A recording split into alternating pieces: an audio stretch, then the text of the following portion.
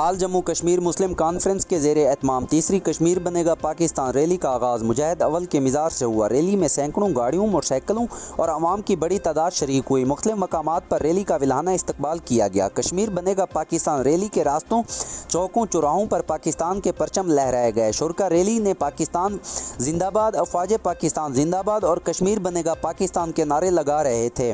सबक वजी अजम सदर आल जम्मू कश्मीर मुस्लिम कॉन्फ्रेंस सरदार अतीक अहमद खान ने रैली के शुरा से खिताब करते हुए कहा कि कश्मीर बनेगा पाकिस्तान नारे को अमली जामा पहनाएँगे।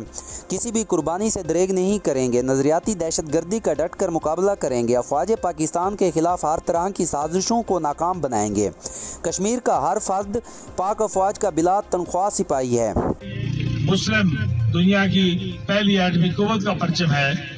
और ये परचम जो है, ऐसा परचम है कि जो अल्लाह के फजल करम से तारीख में हमेशा इस सरबलंद रहना है।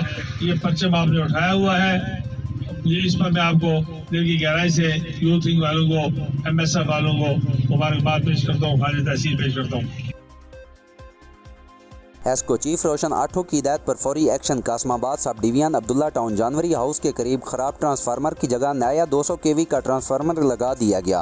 हैदराबाद की मरूफ समाजी शख्सियत मोहम्मद नवीज शेख से कासमाबाद अब्दुल्ला टाउन नाज जानवरी हाउस के इलाका मकीनों का रबता। इलाका मकीनों ने ट्रांसफार्मर जल जाने के बाद उसकी जगह ट्रांसफार्मर तनसीब न करने की शिकायत करते हुए कहा कि शदीद गर्मी और जिसके मौसम S D O Kasmabad sub division शिकायत सुनने को तैयार नहीं, जिस पर हैदराबाद की मरूफ शख्सियत मोहम्मद नवीज शेख ने इलाका मकीनों को अपने ताउन का यकीन दिलाते हुए कहा कि हैस्को चीफ रोशन आठों से अब्दुल्ला टाउन जानवरी हाउस के नजद नया ट्रांसफार्मर तनसीब करने की बात करेंगे। हैस्को चीफ रोशन आठों हैस्को हुकाम समाजी शख्सियत मोहम्मद नवीज शेख ने Kasmabad sub division Abdullah town की सूरत हाल से आगाह किया तो हैस्को चीफ रोशन आठों ने हैस्को की टेक्निकल स्टाफ को फौरी तौर पर अहकाम दिए कि Qasimabad sub division Abdullah town Janwari house वाले इलाके में फौरी तौर पर 200 केवी का ट्रांसफार्मर नस्ब किया जाएगा।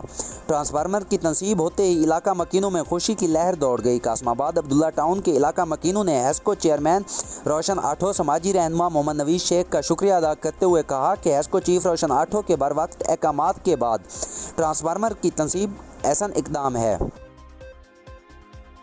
सांगला हिल ट्रैफ़िक पुलिस के एहलकार शहजाद खान जो के पुलिस खिदमत मरकज़ में कुछ अर्सा पहले तैनात थे तो मसूफ हर गोरख धंधे में महर थे। किसी का ड्राइविंग लाइसेंस बनवाना हो या करेक्टर सर्टिफिकेट, कोई मसला नहीं था।